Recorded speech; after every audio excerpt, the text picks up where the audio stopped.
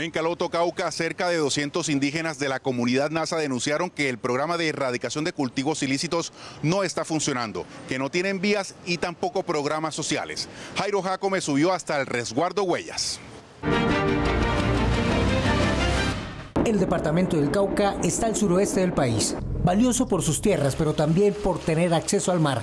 Sus culturas ancestrales aún guardan la riqueza de sus tradiciones que durante años han mantenido las comunidades indígenas en la región. Caloto es uno de los 42 municipios que conforma el departamento y a pesar de ser históricamente una de las regiones más antiguas pobladas en el país, su atraso en infraestructura, vía, salud y economía también ha sido histórico. El resguardo indígena de Huellas hace parte de Caloto. La situación de la comunidad no es la mejor. Cuando llueve, la vía parece una pista de jabón. Arriesgando sus vidas, les toca a sus habitantes empujar los buses por el barro.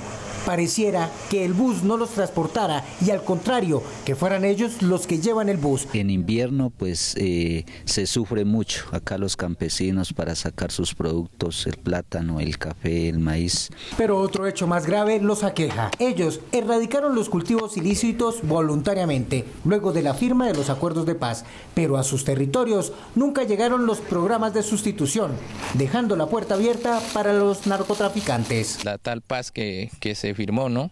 Eso a nosotros como indígenas o acá como estamos en estos rincones, por acá no se ha visto eso todavía. El narcotráfico ha seguido igual, los grupos armados eh, han seguido igual cada día. Muchos líderes en la región se oponen al narcotráfico y como consecuencia amenazas, atentados y desplazamiento. Me quedo, no me voy, así sea, eh, cueste lo que cueste y pues bueno, esperar lo que la madre naturaleza decía con nosotros, pero igualmente nos mantenemos y seguimos acá en el territorio, no nos vamos a ir.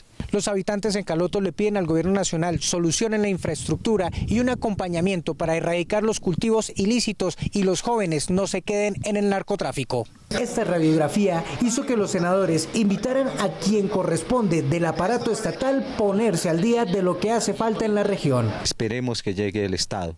Si el Estado no llega, estamos condenados a la necesidad, a la pobreza, al conflicto social y armado y a una paz que será imposible. También a respetar los acuerdos y cuanto antes se tomen medidas contra el narcotráfico como un combustible para la violencia. La pobreza lleva a que la gente busque una opción de vida y la opción de vida la encuentra en los cultivos para uso ilícito. Estos cultivos para uso ilícito traen violencia.